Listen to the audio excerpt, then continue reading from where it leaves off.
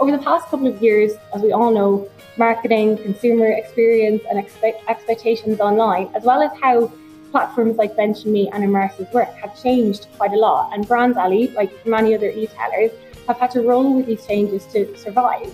But for us, our formula for how we think about our customers has always remained the same, and it's very simple. Have those satisfied customers time and time again, they'll become loyal to your brand and they'll keep coming back. So the stronger that loyalty is, keep nurturing it and they come back and become those brand advocates that we're talking about. This in turn then drives new customers, which you have the opportunity to satisfy and nurture, and you keep that cycle going. It's very simple, even though it's not always easy, and it certainly needs to be an obsession in order to really work.